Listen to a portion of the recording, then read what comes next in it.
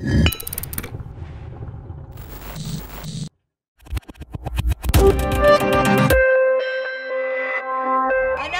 כאן מול הבית של בנט, ואני שואלת את עצמי כמה פעמים עוד אנחנו נצטרך לעמוד פה עד שהוא יפנה לנו זמן ביומן שלו.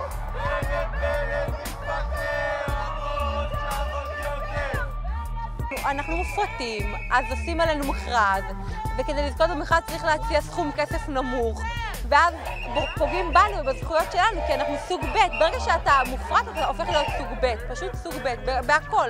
אין רצף תעסוקתי, אין ביטחון תעסוקתי.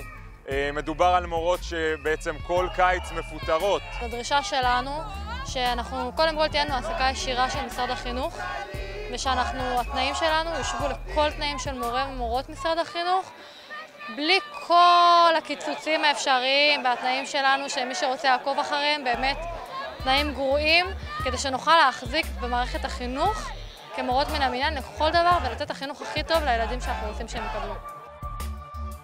המורים שלי כאילו חשובים לי, אני מרגישה שמצד אחד משקיעים המון מאמצים, כאילו, והרבה יותר אנרגיות משמשקיעים בבתי ספר רגילים, בתיכונים, וכאילו מצד שני הן לא מקבלות כאילו תמורה ראויה לדבר הזה ומנצלים אותן.